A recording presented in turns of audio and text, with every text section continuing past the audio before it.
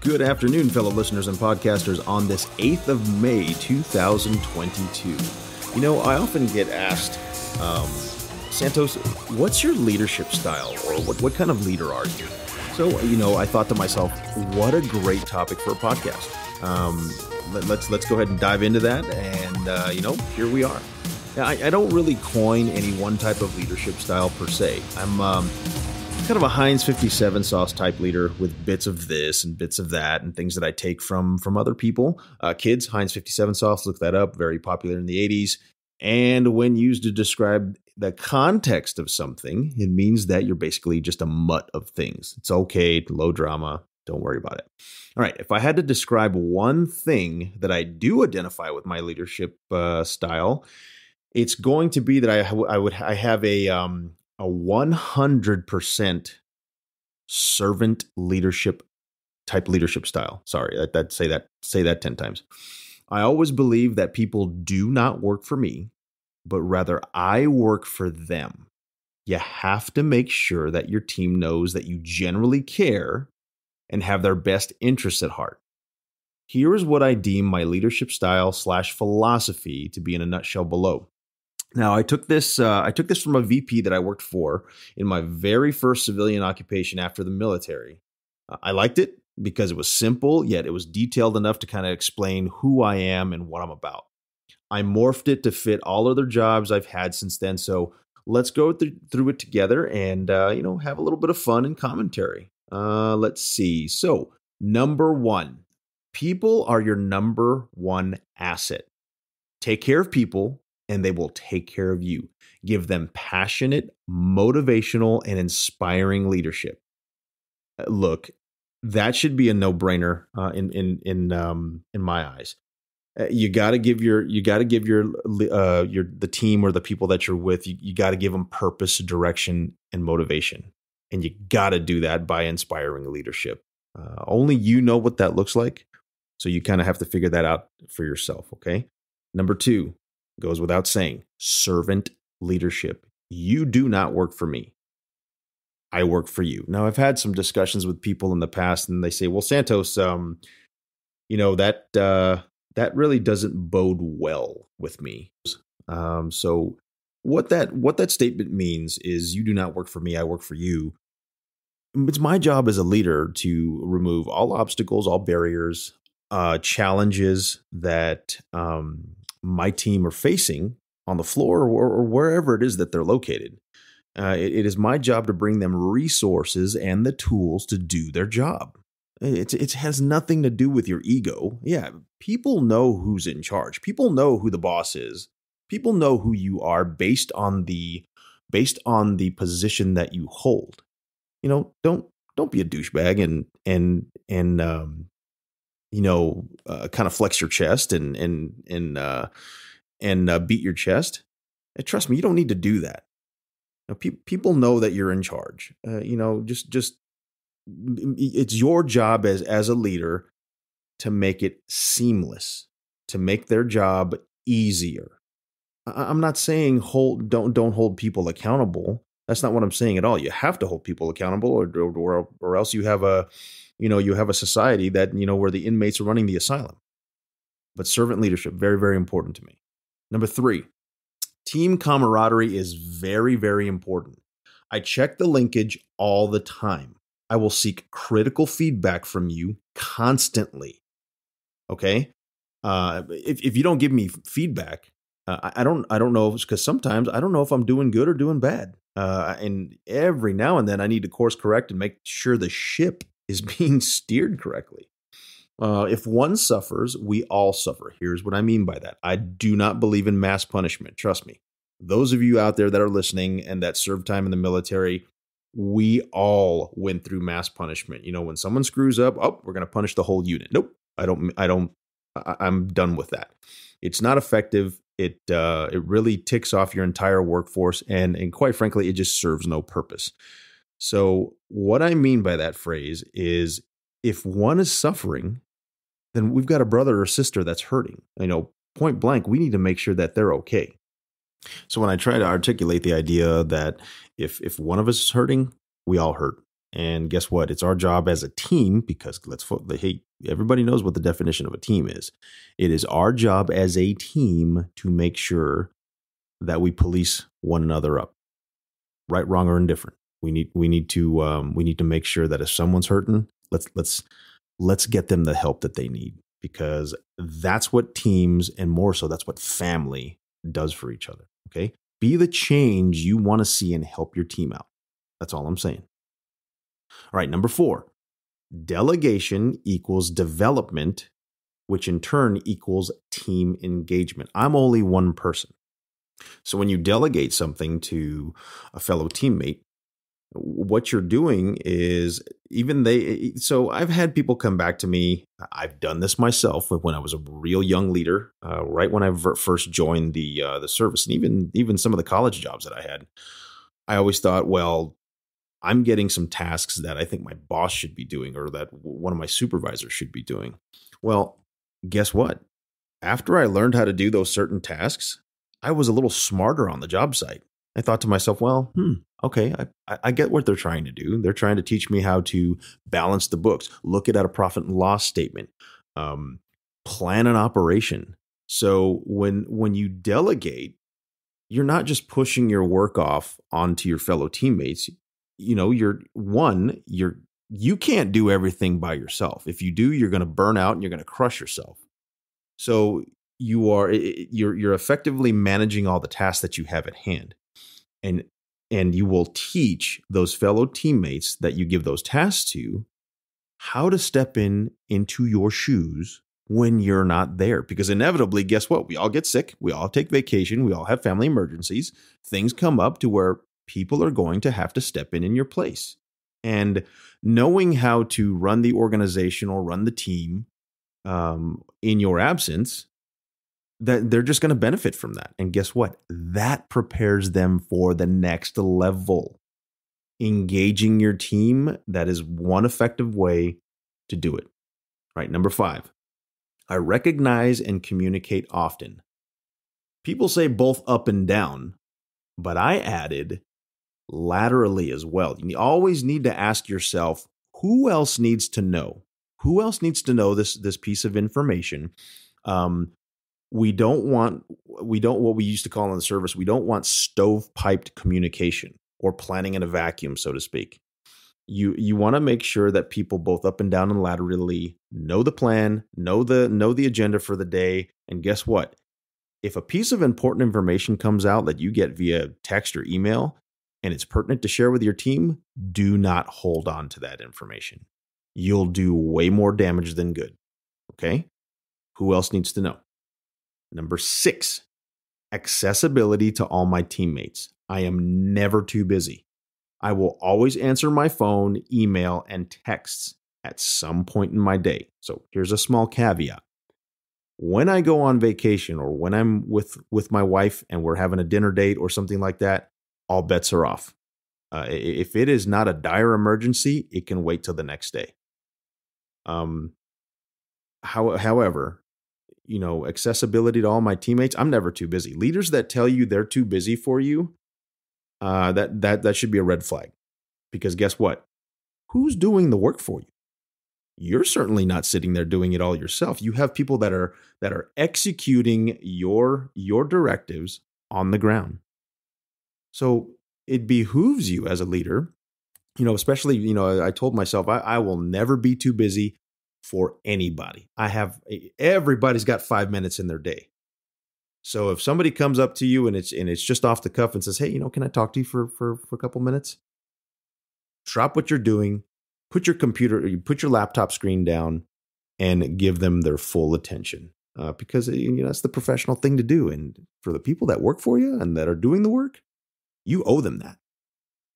All right, number seven, this one I absolutely love. I've gotten to I've gotten into so many discussions and so many debates with people. Turnover is my fault. It is 100% my fault if uh, if we have if we have turnover, and, and here's why I think so. This is my personal opinion. You can go do whatever research or you know whatever you want. At the end of the day, it, it, it's my opinion, and you you see it out there.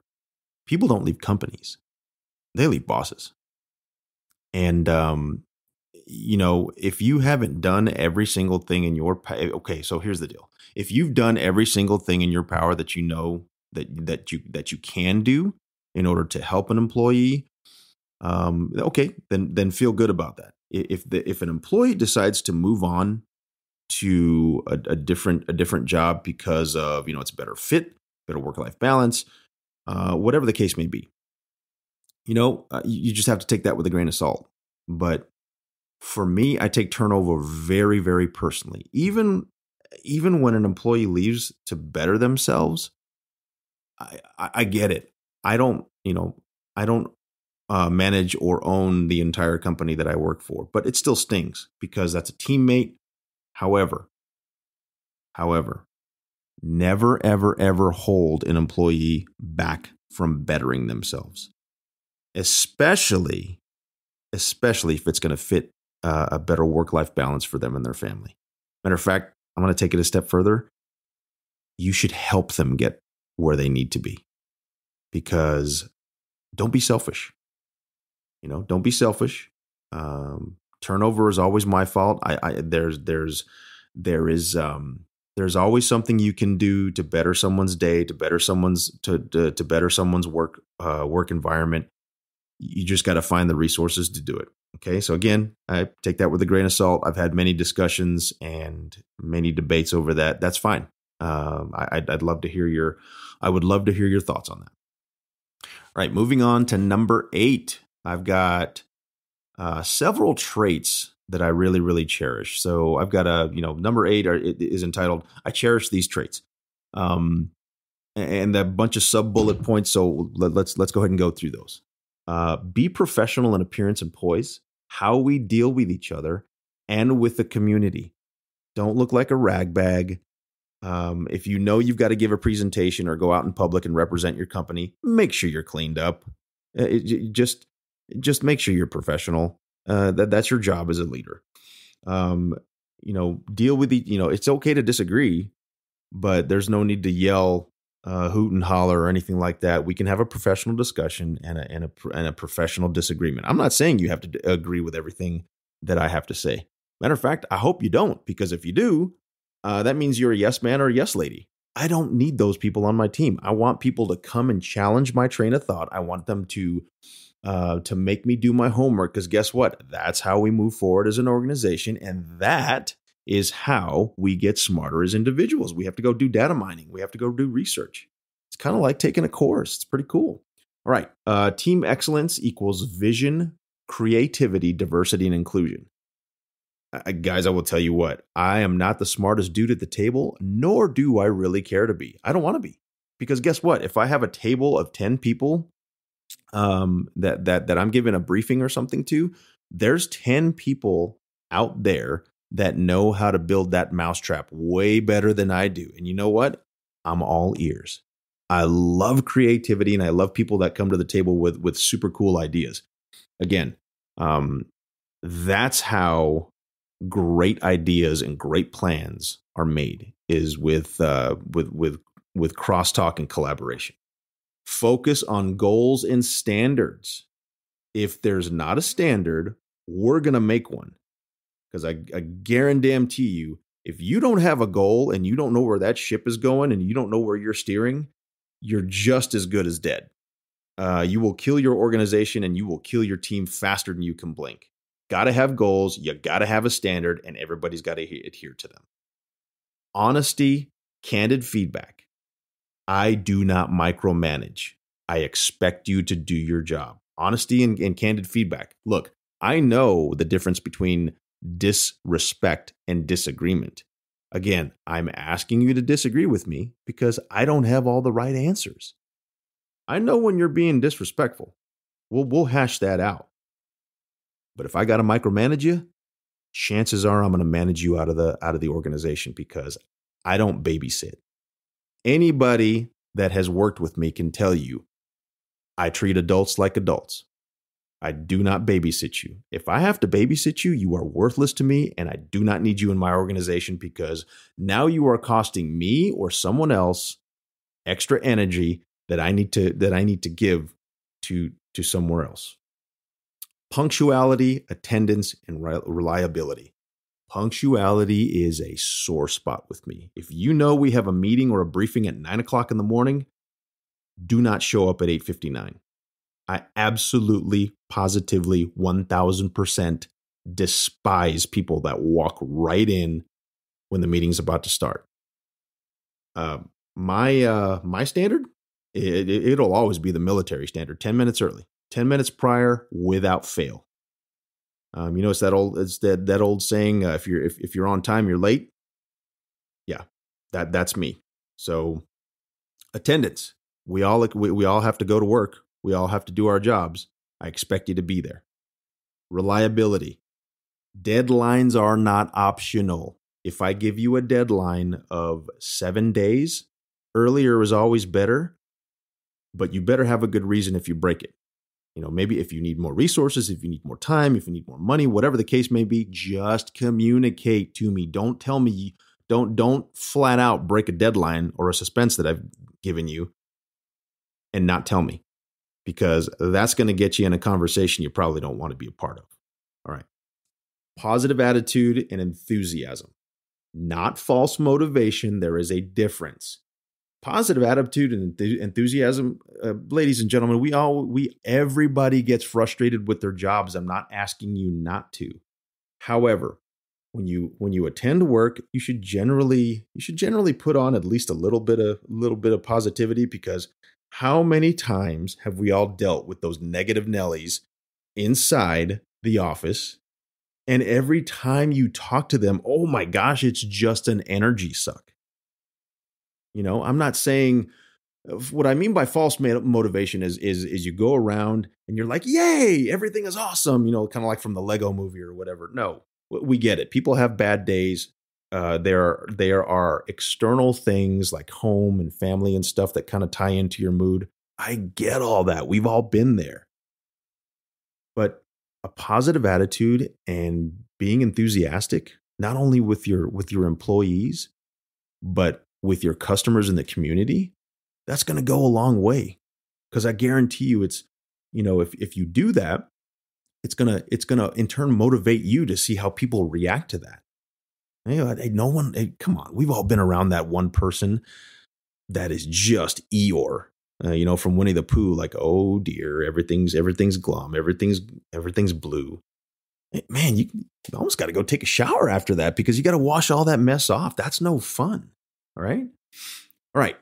I can, I will, I must. I morphed that a little bit. Uh, again, that that is from uh, Mr. E. T. himself, Eric Thomas, one of my absolute most mo- uh, favorite motivational speakers in the world. Um, I absolutely adore him. He is high energy, and again, I had to stop listening to him before bedtime because man, it was time to go and it was definitely time to go build an addition to the house or go run a marathon or something. He's super cool. I can, I will, I must. Uh, uh, quote unquote, give me the ball. I like people that come to me and say, "Hey, you know what, boss? Uh, I got you. G- give me that. Uh, I'll take I'll take that and I'll run with it. Uh, let me let me uh, let me go figure that out, and I'll I'll, I'll come back to you with, with some options. Love, love, love self starters. Take the initiative. Peer mentors. Who taught you? Who do you look up to? Do you mentor someone? Okay, men oh, mentorship is such an important part of leadership. Uh, I didn't learn on my own. I have been blessed to work with many, many, many great leaders across my career over the past 25 years of my life, um, you know, doing operational type stuff. I have been blessed by learning from some really, really great mentors. Um, who taught you? You know, uh, uh, who do you look up to? And in turn, do you cast that back out to the community and do you mentor anybody? You know, that's a, that's that's a pretty important question you need to ask yourself. And um, you know, it's something I tell people that I work with. Like everybody's got to have a mentor. I, I, I, trust me. Even even high functioning people, uh, the the most high functioning people in the world have mentors. You'll see it. You'll you'll read about it. All right, keep it simple with no excuses. Ownership. Don't give me an excuse. If you screwed something up, tell me, tell me what you screwed up. All right. this is what I usually tell people. If you if your decision didn't make, you know, if it wasn't illegal, immoral or unsafe, we're going to get through it. Might be a little bit, you might be some pain points, but that's okay. We're going to we're going to get through it just fine. We're going to get through it as a team. Take ownership of it. Don't put blame on anybody else. You know, pull your big boy pants up. Say, "Hey boss, I screwed it up. Here's how I plan to fix it." And then you know, things might be a little bit bumpy, but we're going to get through it. Sense of urgency, act and move with a purpose. You know, while at work, work hard. Uh, you know, when I say act and move with a purpose, when you get a task, don't procrastinate. Start doing your research. Start gathering all your tools. Start gathering all your resources that you're going to need to to either complete a project or start data mining, whatever it is. But have a sense of urgency. People that sit around like a bump on a log and act act like um, when I give give them a task to do something and they don't deem it important, fires me up a little bit. Okay. Okay. Here's a here's another one. Um, here's another one that that really kind of chafes my ass a little bit. I have a problem, but here is my proposal to solve. Okay. We all have problems. We all have issues. We all have stumbling blocks that we run into always give recommended courses of action. Don't please just don't come into my office or or come tell me and vomit all over me and say, "Oh, this is bad, this is bad, this is bad. Um, I have this problem and I have this problem." Okay, so what? What's the so what to all that? And now, now that you just dumped everything out, you know, all over my shoes, what do you plan to do about it? Are you asking me for help? Do you have any recommended courses of action? Do you have even a direction that we should steer the ship? Because if you don't bring your leader a recommended course of action, now you're just a, now, you're just one of those people that when we see, when when we see you, when we see that type of person, we just walk the other way because we know all you're gonna all you're gonna bring us is problems, problems with no solutions. Do not be that type of person. All right.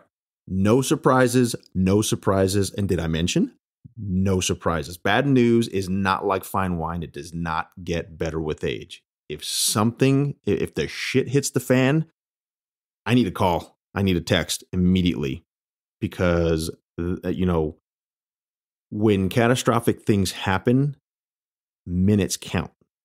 Hell, sometimes seconds count. I need to know so that way we can get in front of it and deflect if possible, or just come together as a team and just figure it out. So please, no surprises. Always let me know. Number nine, big, big, big one. The answer is never in your office. If you have not scheduled, or do you you don't have currently scheduled some time to go interact with your team out on the floor, and you park your you park yourself in your office for eight to ten hours a day, I'm here to tell you, um, they're talking about you, and and, and they are uh, they are well aware that you are leading from a screen, which I absolutely hate. The answer is never in your office because guess what? Something may look pretty awesome on paper or on that screen that you're reading, but when it's time for execution out on the floor, it may fall flat. There's no way you're going to know unless you get out and engage with your team. All right. Lastly, Family is very important to me. Now, then I'm not, to, let me be clear. I didn't put it last because I think it's the least important. I mentioned it last because it, this is literally one of those cases where I save the best for last. Family is very, very important to me. I'm not a fan of burning the candle at both ends. I have a schedule and a routine, and I I stick to it religiously.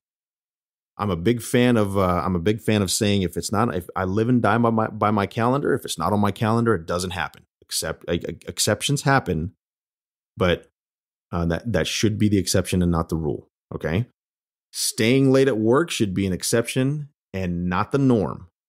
So figure it out. You have people at home that are absolutely dedicated to you and that are supporting you from being at home, whether it be your wife, your kids, who, whoever.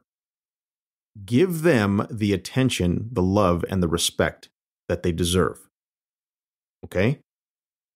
Family time and off time is super duper important. So please, please, please remember that and figure out how to get a routine worked in to your daily life. That way, when it comes for date night or when it comes for a special occasion with the family, you don't blow it. All right. Well, there you have it in a nutshell. Uh, this is how I take teams uh, and people in general and turn them into a cohesive unit. It, it, it's worked for me. Uh, again, I've, I've, I've, taken some principles that I learned in the military and um, morphed them with some with some civilian leaders that I've worked with, and it just kind of made it my own. Uh, literally, that's that's leadership and philosophy. It can be whatever you want it to be. Um, it just needs to it just needs to cover the bases and, and make sure that people know uh, where you where you come from and where you stand. Uh, I stress it's never a culture of me, but always a culture of we. I'm to say that again. It's never, ever, ever a culture of me, but always a culture of we. No one, and I mean no one gets to where they are without the help of those around them. This includes family. This includes your spouse. Okay? No one gets to where they are without without the help of, of other people. Shout out to all the men and women that I've served with over the years in both uh, military and, and civilian careers. I've learned so much and I continue to do so.